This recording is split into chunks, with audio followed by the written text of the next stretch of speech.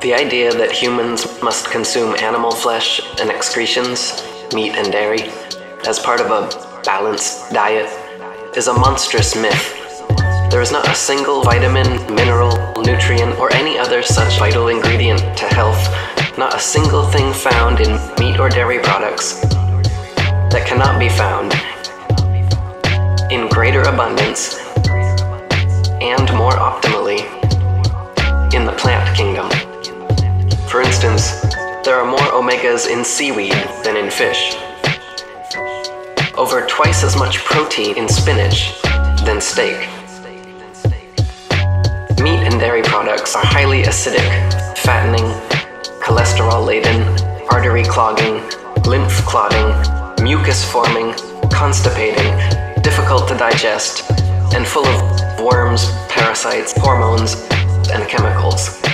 Eggs are actually unfertilized avian menstrual cycles, otherwise known as chicken periods. Milk is the pus and hormone filled mammary excretions of a female cow and meant to nourish her young.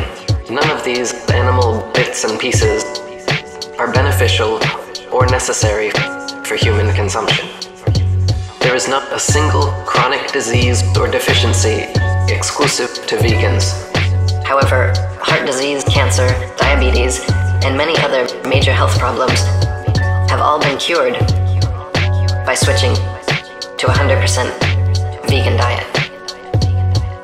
The idea that you need to eat another animal's flesh to be strong is a ridiculous superstition. Some of the strongest animals in nature, like gorillas, elephants, rhinos, are all vegetarians. Shaolin martial monks, arguably the toughest men in the world, are all strict vegans. Our human anatomy is undeniably designed to subsist on plant foods and not on animal flesh. Literally every aspect of our bodies proves we are herbivore, frugivores, and not omnivores.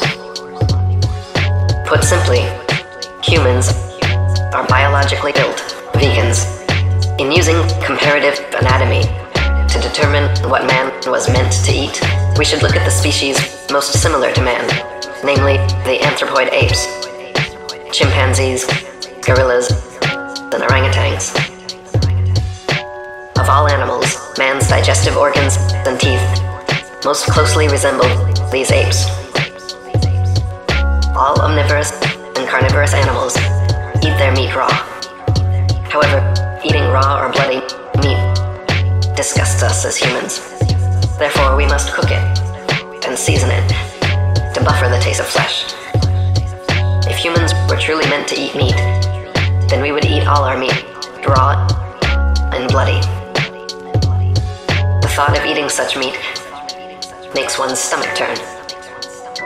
We as humans are conditioned to believe that animal flesh is good for us and that we were meant to consume it.